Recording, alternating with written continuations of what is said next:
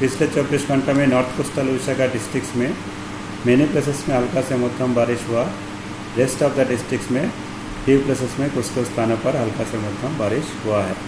Heist बारिश हुआ नवरंगपुर में 54.0 मिलीमीटर उसके बाद तिहिति 39.0 मिलीमीटर भद्रक डिस्ट्रिक्ट में है। अभी मानसून वीक कंडीशन है।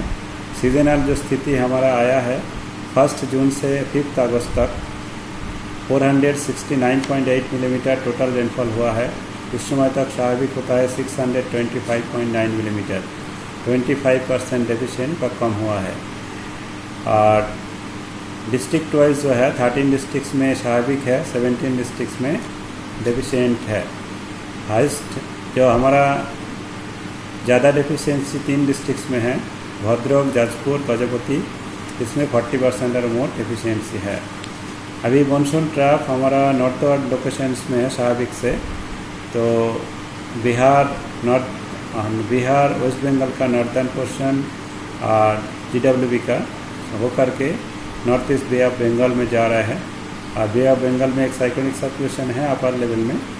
तो इसका प्रभाव में अभी जो हमारा फोरकास्ट अगला पाँच दिन के लिए है तो इसमें फिफ्थ आज और कल fifth and six many places में हल्का से मध्यम बारिश हो सकता है। आज मैनी प्लेसेस में सभी मोस्ट ऑफ़ द डिस्ट्रिक्ट में, और कल मैनी प्लेसेस में इंटीरियर उड़ीसा का डिस्ट्रिक्ट में, फिर प्लेसेस में कोस्टल उड़ीसा का डिस्ट्रिक्ट में बारिश हल्का से मध्यम होने का चांसेस है बट बारिश का अमाउंट कम ही रहेगा।